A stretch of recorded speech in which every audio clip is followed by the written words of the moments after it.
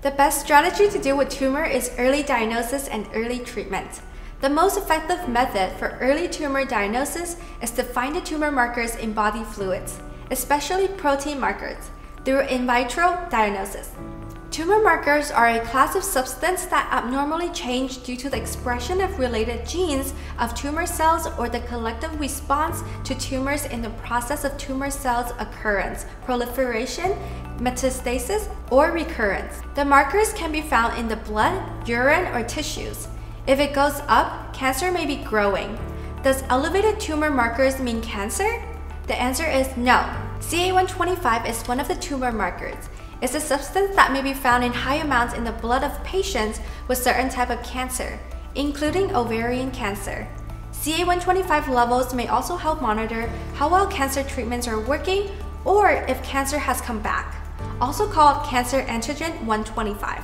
A number of normal and non-cancerous conditions can cause an elevated CA125 level, including endometriosis, liver disease, menstruation, pelvic inflammation disease, pregnancy, and uterine fibrosis. Tumor markers have obvious shortcomings.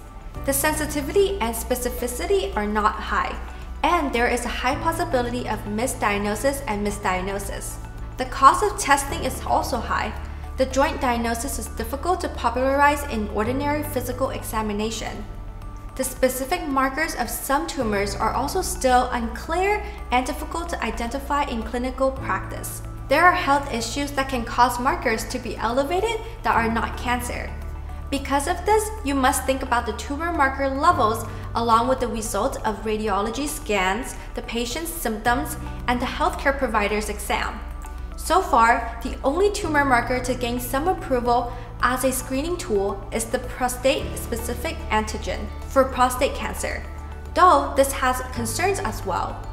Elevated tumor markers do not mean that you have suffered from a certain types of cancer and the comprehensive judgment of a clinician is required.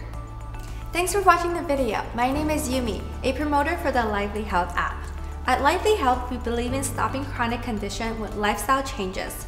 I hope you find this information useful and challenge yourself to build a healthier habit. Harvard research has shown that following healthy habit can help you live a chronic condition-free life. Like this video and subscribe to our channel for more content like this.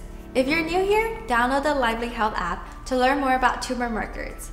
You can build and keep track of your 10 lifestyle habits with the 100% not-for-profit Lively Health app. Check out the links down below for more information on tumor markers. See you next time and stay healthy!